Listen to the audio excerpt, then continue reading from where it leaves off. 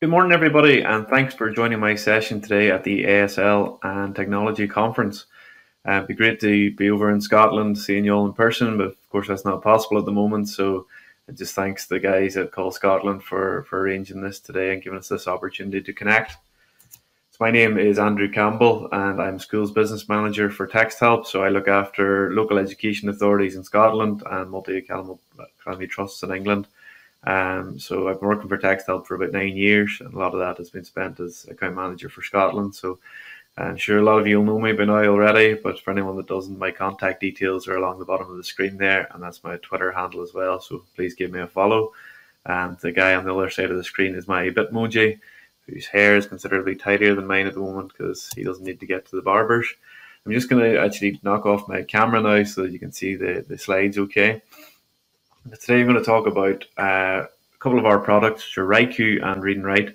I'm going to talk you through Read and Write to begin with, and then my colleague Gustavo, who's our WriQ product manager, is going to talk you through through WriQ, and we're connecting the both in terms of how they help students with writing and also providing literacy support tools. Our, our products uh, cover a, a, wide range of ways of how we support students, but um, want to kind of focus in on one particular area for today, which is in terms is writing. Though as we go through, please do sort of keep in mind as well. Obviously, uh, remote learning is, is a hot topic at the moment and something that's uh, coming up more and more, and looks like it's here to stay as well. So, um, all of our products can be can be used in terms of remote learning. They're really helpful for remote learning, really, and we're we've actually we have a lot of uh, a lot of interest and at the moment, a lot of good feedback on how students are using them at home and teachers are using them to share work with students and and the workflow in place where they can share work and receive it back. So um, just I, I'll point to a few ways how read and write can help in terms of remote learning. Just something to bear in mind as we go through. So say we mentioned mostly today read and write on WriQ, but if anyone is looking for a digital maths tool, Equatio is ideal uh, for that. Particularly say in terms of remote learning, if you're finding that I know a lot of math teachers are finding it difficult to set work in a digital format and receive it back in a digital format. Equatio is the ideal solution for that. You also have Snapverter, which makes inaccessible documents accessible, and Fluency Tutor, which is a reading assessment app. So a student, uh, a teacher has access to over 500 reading passages, which they can choose from and share with their classroom. The, the class then can record themselves reading and send it back. Each student can record themselves reading and send it back and the, the teacher can go to market. So really nice tool at the moment for anyone who's looking for resources and an easy way to get resources, but also to connect with your students and hear your students' voices and, and uh, as well again. So today is mostly going to be around read and write on WriQ and their place within the writing process. So read and write from a drafting, writing, and revising and editing point of view, and then WriQ in terms of actually giving feedback for students and allowing teachers an easy way to assess the writing and also providing students with, with greater motivation in terms of writing. I'm going to focus mostly on read and write. So, for those of you who've never seen it before, read and write is a software toolbar that sits on top of whatever it is you're using, be it a Word document, a Google Doc, a website, a PDF. It's just there to support you, and it works across multiple platforms: iPads, Google tablets, uh, Chromebooks, Microsoft, whatever it might be. It works across them all, and students can use them at home. And there's lots of different support features on read and write. So there's loads of different loads of different features, and they can be they can impact the writing process in different ways. You'll see them kind of scattered through the middle there and, and different stages that the features of read and write will support the writing process. I'm going to focus on a couple today just to give you an idea, flavor of how it works. Um, but you're available to, to take on a trial of this at any time. So please get in touch if you if it's something you're interested in.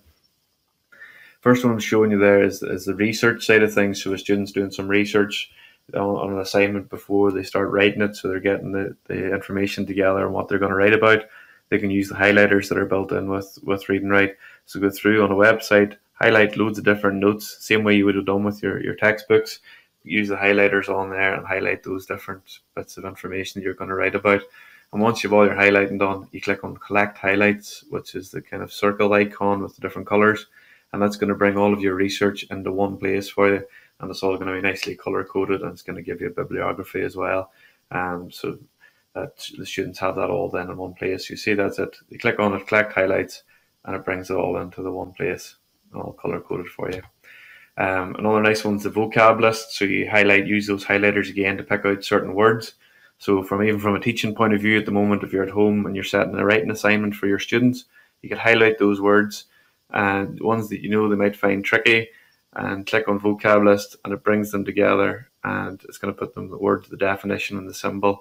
So those students that are used to having somebody there supporting them with those words that they didn't weren't too sure of, that's going to be a nice way for them to kind of to see those words, see the picture, see the definition, and, and know what the word is. It'll also help inform their assignment that they know that they're writing about that particular topic. Those are the words that should be coming up. You also have word predictions when it gets to the point of actually drafting the assignment for those students who've done the research. They now know the topic, they know what they want to write about, but actually writing that topic uh, can be quite daunting for them.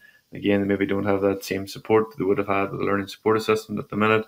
They can go in, click on word prediction as they start typing. Same as what you get on your phone, it's going to bring you up different words, but that's going to be very helpful for those students who say know a topic but struggle to actually write it down. So You'll see it here now on the screen. You click on the word prediction icon, and as you start typing, it brings you up different words. And if you can get the student can get the first couple of letters of the word, reading the first letter, it's going to bring them up. And the more they use it, the more uh, accurate the predictions will be as well. And they can listen to the word. They can use dictionary with the word, so they know they can scroll through and see, yes, that's definitely the word that I want. And then from a feedback and review part of view, when we get to the end of the writing process, they've done their first draft, and you, as a teacher, want to send some feedback click on voice note, record your feedback, and send it to them. Um, again, it's a nice way for students at the moment to hear that, hear their teacher's voice, hear that feedback, rather than getting you know reams of writing for feedback. So we're the quick way of doing that. Just a quick note um, in terms of our PDF reader. Um, this is on the remote learning side of things. Um, a lot of people just aren't aware that it's something you can do, and obviously a lot of people are sharing PDFs at the moment you know, great resource on PDF, you want to share it with your students, but they can't really do much with it when they get it. If they use the PDF reader from TextHelp, they can go in, type into it, draw on it, use you know picture dictionary, use dictionaries, use translators, and makes it so much more interactive. So just wanted to share that with you as well. Just going to hand you over to uh, Gustavo now to talk through WriQ. Hello, thank you for watching this webinar. Thank you, Andrew, for having me. I'm pretty sure that most of you don't know me yet. Um, my name is Gustavo and I joined Texthelp pretty much a year ago.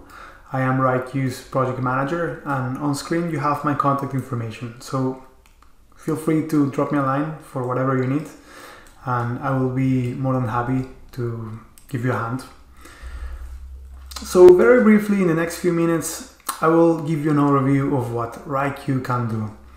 WriQ is our writing achievement tool and I want to show you how WriQ can help students getting more engaged and motivated with their own writing and how it can help teachers assessing student writing and tracking progress. Okay, so I will switch off my camera so you can have a better view of the presentation and continue. Alright, so first of all, what is WriQ? WriQ in a nutshell. If you're a Google user, you will be able to find WriQ in the Chrome store and add it to Google Chrome as an extension. If you're a Microsoft Word user, Microsoft Teams user, you will be able to find WriQ in the Microsoft Store as an add-in.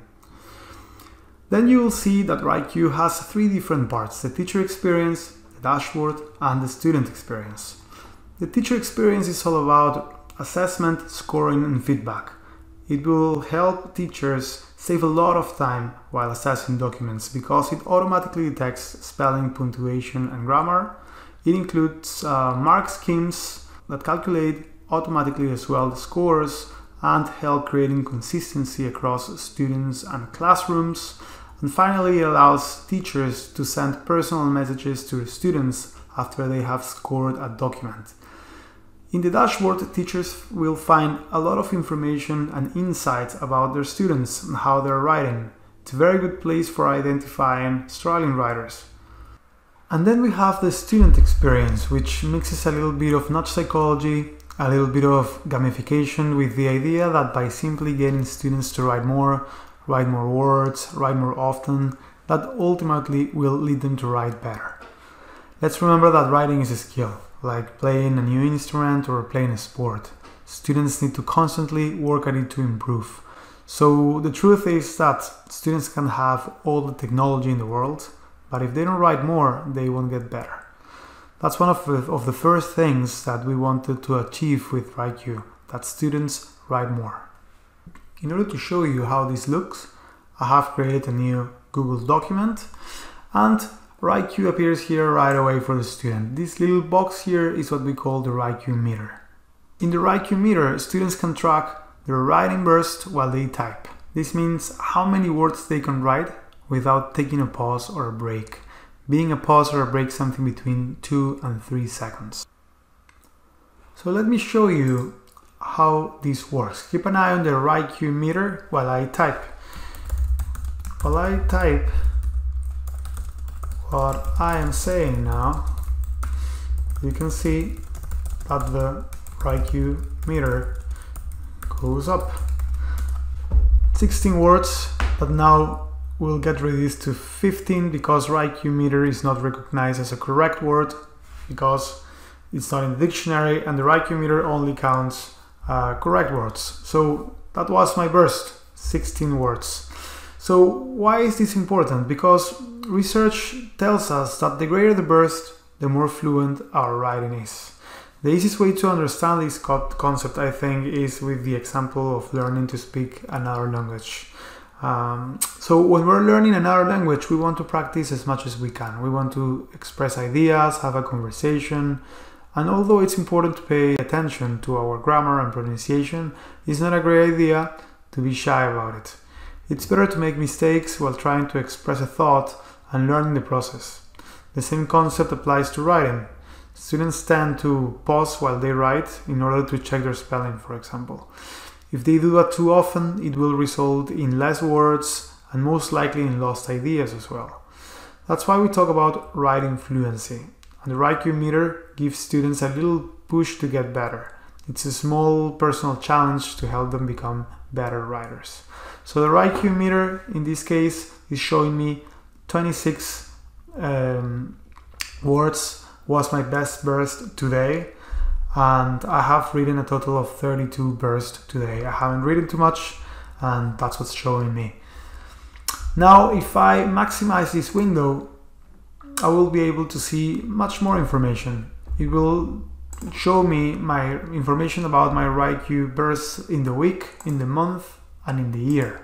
So for example if we take a look at the month I can see how many words I have written in total this month, over a thousand words, which can be very encouraging um, to see how much work I have done to encourage me to write even more. It will show me my total uh, burst and also the average burst length. So, for example, in the last few weeks, I've been getting better. My, my average burst length has been going higher, which probably means that my fluency is improving a little bit. It also shows me the subject areas that I usually write about and a word cloud with the keywords that I use most. We have also included a program of badges and achievements that can be accessed from the achievements option in the menu. So I will open that one so you can take a look at it. Achievements and here you can see all the different badges I got for different goals that I have achieved. Badges can be earned by burst length, by subject words and by total words typed. Finally, let me show you how the student gets a feedback from a document that you have scored for them. So now I have opened a document called Heroes and Villains that has been already scored by a teacher. And the only difference in the WriQ meter is that little green dot here. That means that I have as a student notification, a notification. When I open this, there's a different message here that says you have feedback available. That wasn't there before.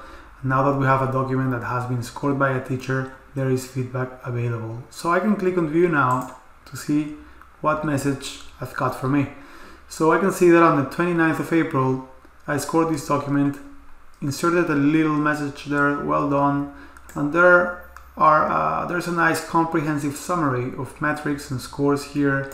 There's a mark scheme score, there is a summary of spelling, punctuation and grammar errors, word counts, vocabulary age and time on task.